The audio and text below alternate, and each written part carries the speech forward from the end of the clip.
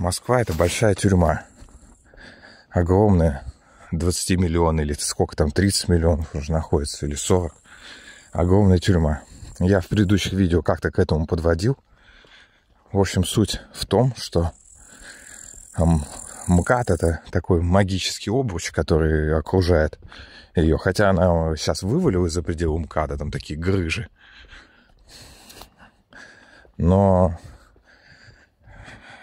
несмотря при этом, при всем, я не знаю, вот насчет того, что там вывалилось. Сейчас мы рассматриваем Москву, в какую я попал в 2000 году. А Москва в 2000 году, насколько я знаю, имела границы МКАДа.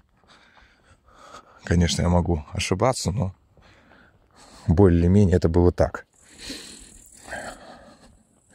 И МКАД это, ну, я говорю до этого про город под куполом, Диаспар у Артура Кларка.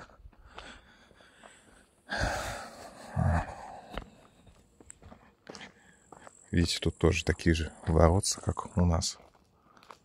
Вот тут качели ржавые. Это тоже дом довольно не маленький.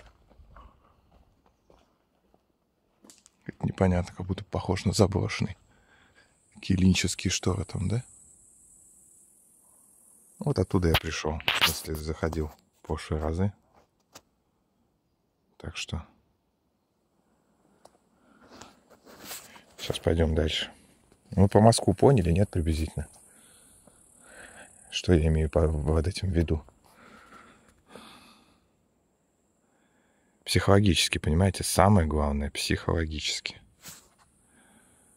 Это самый страшный купол.